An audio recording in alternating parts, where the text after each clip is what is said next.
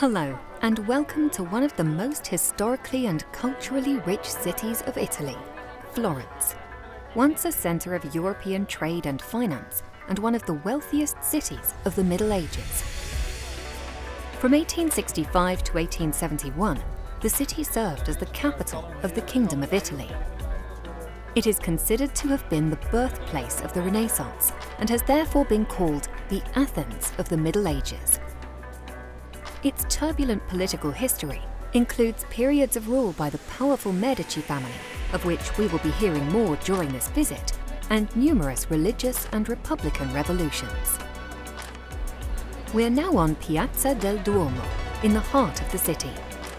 Here in just one glimpse, you can instantly admire some of the main monuments of the historic centre, mainly the Basilica of Santa Maria del Fiore and its iconic bell tower.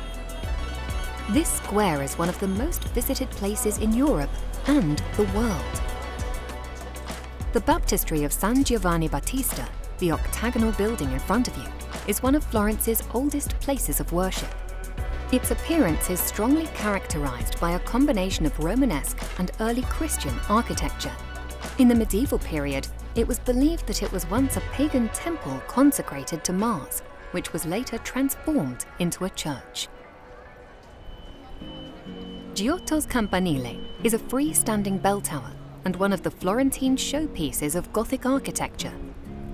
The slender structure is square in plan and almost 85 metres or 280 feet tall. Let's take a closer look to really appreciate the height of it.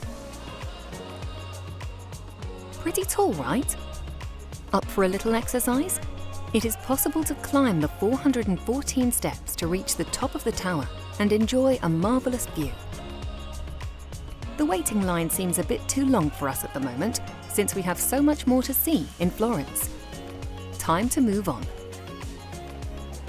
The Palazzo Vecchio, or Old Palace, is another one of the city's treasures that can't be missed, and because of its sheer size, it is actually very hard to miss. It stands for the political power of Florence. First, that of the Republic, and later of the Medici dynasty. Today, it retains its allure as the seat of the city council.